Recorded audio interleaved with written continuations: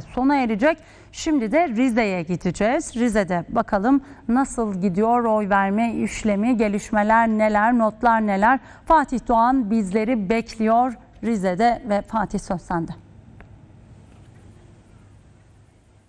Esra Kaya bizler Rize Tevfik İleri Mesleki ve Teknik Anadolu Lisesi'nin bahçesinden bu yayını gerçekleştiriyoruz. 1005 sandık bulunuyor Rize il genelinde ve 265.362 seçmen e, kayıtlı. E, birinci turda milletvekili ve cumhurbaşkanlığı seçiminde %89,16'lık bir katılım sağlanmıştı.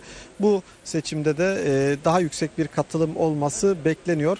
Oy verme işleminin başladığı saat 8 itibariyle e, gözlemlerimiz e, ufak bir yoğunluk oluştu. Ardından yoğunluk azaldı.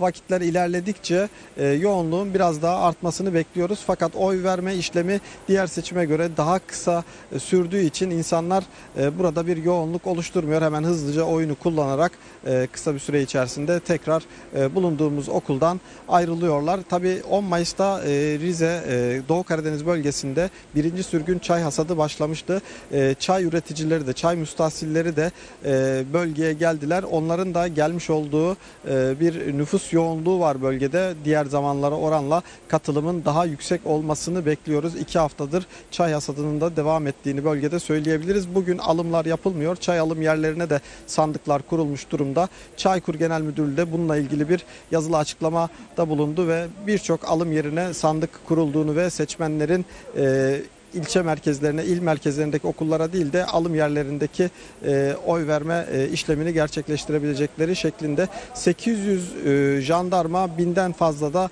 e, polis görev alıyor seçim güvenliğini sağlamak için saatler 17'yi gösterdiğinde de e, oy verme işlemi tamamlanacak ve sayıma geçilecek.